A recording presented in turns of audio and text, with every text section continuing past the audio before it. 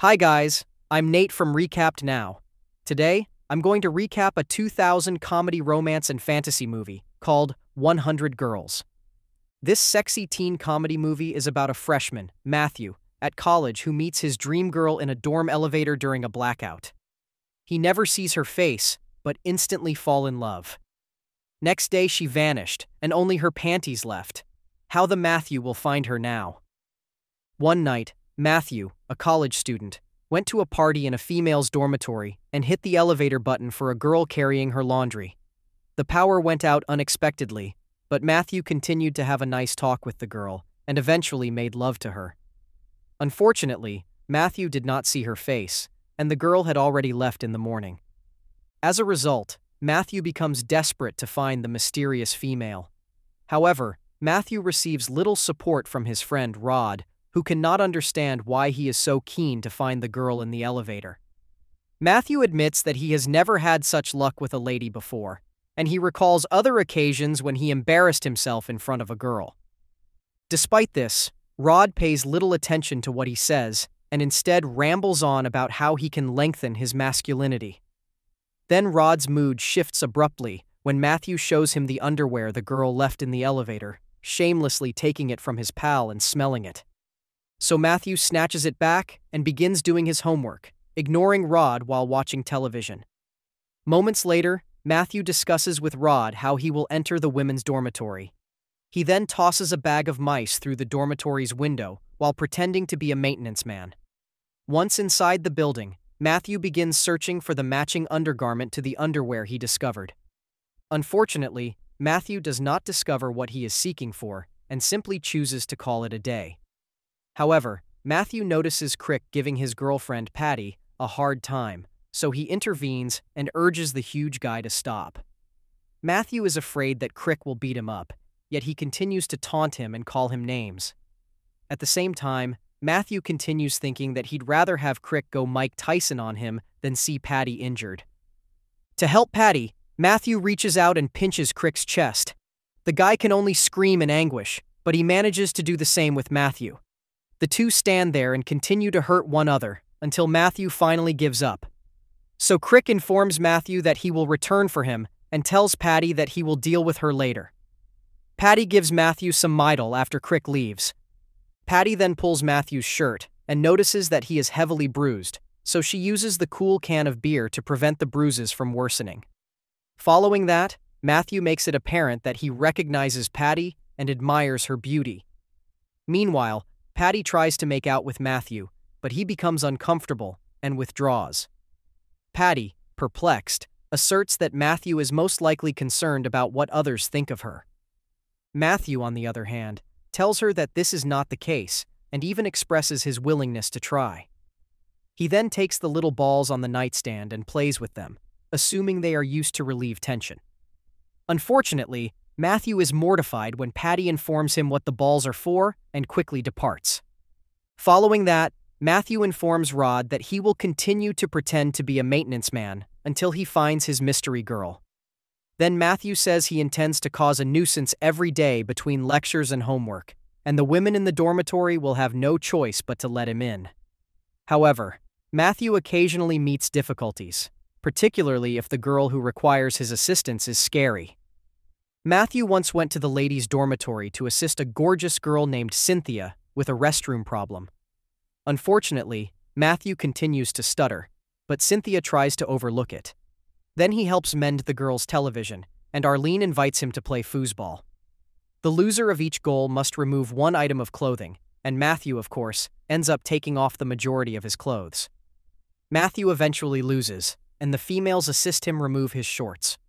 Fortunately, Matthew's virility impresses everyone, and he walks confidently out of there.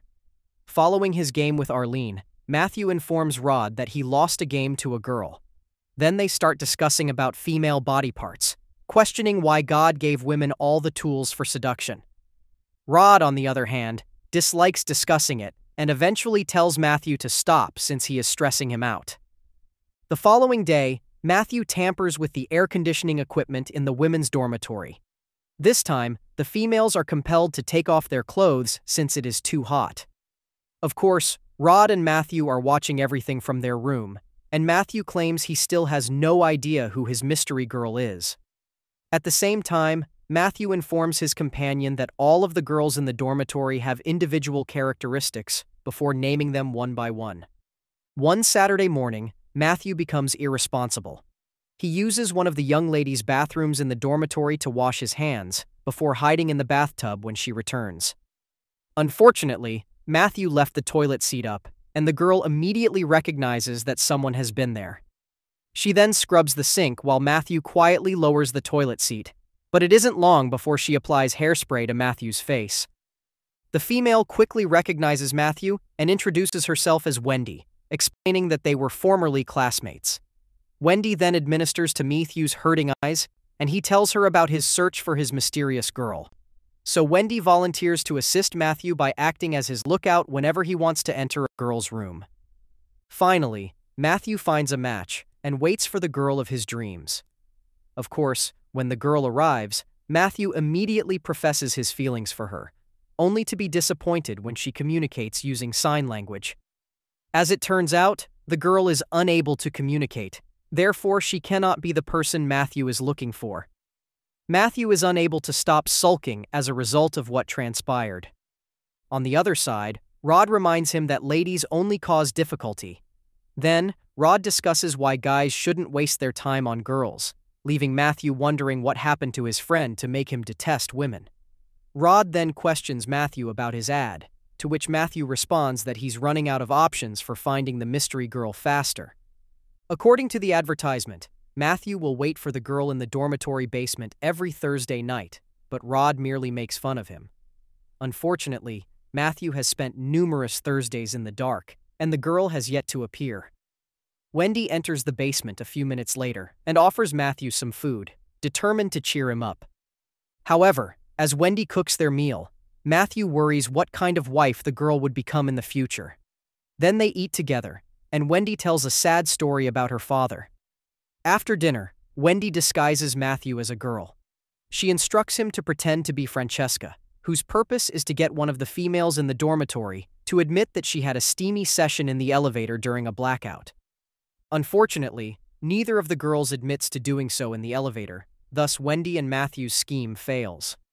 So Wendy tells Matthew to get to know the young females, hoping he will get a sense of which one they are. Matthew, out of alternatives, begins talking to all of the girls in an attempt to figure out who his mystery girl is. Unfortunately, Matthew struggles to communicate with Cynthia, so he addresses her as Francesca instead and realizes there is more to her than meets the eye. Then, that night, Matthew speaks with a quiet girl named Dora, who believes Matthew is just chatting to her because he pities her. The next day, Arlene challenges Matthew to another round of foosball.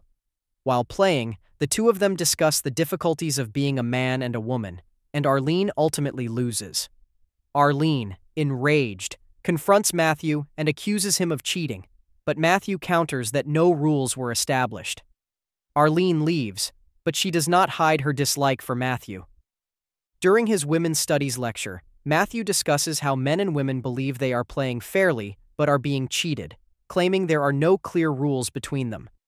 His teacher, Ms. Stern, disagrees, claiming that women are aware of the constraints imposed and enforced by Western civilization's present patriarchal system. Unfortunately, Matthew has nothing further to say about this. After their midterms, Matthew checks on the girl who hasn't left her room. Then he discovers Dora isn't in her customary location and searches for her, only to find her on the rooftop. Worried, Matthew rushes to the rooftop and collides with two men carrying a couch on the steps, causing them to drop it and accidentally strike Cynthia. On the rooftop, Matthew persuades Dora not to jump, but she refuses because she is both unattractive and intelligent. Dora, on the other hand, claims she knows what awaits her and that no one would ever be passionate about her. Dora then acknowledges that she doesn't intend to leap, and Matthew eventually persuades her to return inside. Dora and Matthew then read a book together, and Matthew discovers that he is enjoying himself. One night, Matthew tells Wendy about the downsides of being Francesca. He claims Rod didn't recognize him, and the man began gazing at his dress. Of course, Matthew was aware of Rod's actions because he also engages in them. Then, Matthew reveals to Wendy that he feels violated, and Wendy says she understands. At the same time, Matthew cannot believe Rod was willing to do it with him when he teased him while dressed as Francesca. After telling the anecdote, Matthew recognizes that women bear greater responsibility than males. He also claims that women truly govern the world, but the irony is that they are not assigned to visible roles. Matthew points out that men are terrified of putting women in the job because they believe that women will eventually climb to their proper positions of leadership. Days later, Matthew sits down with Patty and shares a bowl of cereal with her. Then, Patty says she knows Matthew likes someone, and she can tell by the way he looks at her. Unfortunately, Crick soon appears, so Matthew devises a strategy to divert him and keep him away from Patty. The big guy then loses his cool and pushes Matthew away, prompting Patty to intervene. With no other option, Matthew assists Patty in taking down Crick before stapling his hair to the floor and leaving. As a result, Crick is obliged to chop his hair before embarking on his search for Patty. However, Patty drops her tiny ball, and it isn't long until Crick discovers them and pursues them. However, in an unexpected twist, Patty's second ball slips, causing Crick to slip and fall down the stairs. Then Matthew sleeps with Patty, and they make a mess after Patty accidentally knocks over a little bottle of paint. In the morning, Matthew feels bad about using Patty. He's concerned that his mystery girl will find out what he did, but Rod assures him not to worry. Once again, Rod begins discussing how they should treat girls, prompting Matthew to question why he despises women so much. However, Rod refuses to address the question and instead shifts the subject. He claims he slept with a lady named Francesca the other day, so Matthew becomes enraged since he knows his pal is lying and places a heavy object on Rod's manhood stretcher. After a few weeks, Matthew still doesn't know who the girl in the elevator is. Then, unexpectedly, the girl appears in the basement and instructs Matthew to stop hunting for her, claiming she dislikes him. Unfortunately, Matthew cannot see her face again because it is dark, so he follows her when she leaves. Of course, Matthew loses her again, and he has no choice except to go see Wendy and mope. Matthew, upset, informs Wendy that his mystery female most likely has a partner or was intoxicated in the elevator. Matthew also claims that his mother raised him with low self esteem, which causes Wendy to rage since she believes that parents constantly strive to shape their children into someone they do not want to be. Wendy then breaks her framed image with her mother, and they end up having a pillow fight. Wendy's mother discovers her sleeping with Matthew on a pile of feathers the following morning. Matthew is still looking for his mystery girl, but he feels rushed because the school year is coming to an end. He subsequently makes peace with Arlene and pairs up with her in foosball, defeating Crick and his friend. Matthew then prepares a movie of Dora to show her how wonderful she is. Then he destroys the ladies' dormitory window so he can pretend to be a maintenance worker again and repair it. Unfortunately, before he can do so, he discovers Cynthia's wounded face as a result of the couch falling on her. Feeling terrible, Matthew spends time with Cynthia and discusses the book she is reading. Cynthia, on the other hand, becomes enraged and kicks the wall, causing a hole to appear. On another occasion, Matthew spends out with Patty as Francesca, since he is unsure what to say to her as himself. He then asks Patty if she likes the maintenance guy, and she says no. At the same moment, they are interrupted by Crick, who refuses to leave Patty alone. So Matthew intervenes, allowing Patty to leave, but Crick refuses to stop and instead turns his attention on Matthew. Crick, mistaking Matthew for a lady, attempts to kiss him, causing Matthew to bite off his tongue. Matthew is ashamed and refuses to tell anyone what happened. Then he discovers Rod having a nice time while watching Dora's film, but he is astonished to see his friend's manhood. With no other option, Rod describes his illness and reveals that he was previously embarrassed in front of a female as a result of it, requesting that Matthew keep it a secret. At that point, Matthew understood why Rod resents women. However, he does not mock his friend and instead tries to cheer him up. As his time runs out, Matthew goes to the ladies' dormitory and tells 100 girls that he's seeking for a mysterious lady he met in the elevator. He then reveals everything and pours out his heart, and all of the girls claim to be the ones Matthew is looking for. However, Matthew realizes that her mystery female is the one who hasn't left her room, so he hurries to open her door. Unfortunately, the young lady states she is not Matthew's girl, but she does mention that the girl may be a few doors down. Without further ado, Matthew knocks on Patty's door and informs her that he has discovered her identity. But Patty rejects him, claiming he fell in love with another girl in the elevator. Patty also claims that she tried to make Matthew fall in love with her, but he is infatuated over the other female. Sadly, Matthew is forced to depart despite his strong desire to be with Patty. Matthew eventually comes to understand that he cannot be with Patty.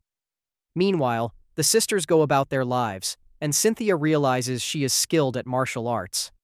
Then, Matthew musters the strength to speak up in Ms. Stern's class, stating that the problem is that there are too many factions in the world fighting one other rather than attempting to understand one another. As a result, Matthew's students cheer him, and the teacher remains silent. On the other side, Crick's tongue has caused him to be unable to talk correctly. Then, Matthew threatens to call the cops on Crick for what he did to him while dressed as Francesca, and it doesn't take long for the guy's other victims to come forward. Wendy later discloses to Matthew that she likes girls, and Arlene becomes her girlfriend. At the same moment, Matthew arranges for Rod and Dora to become locked in the elevator, and they have been together ever since.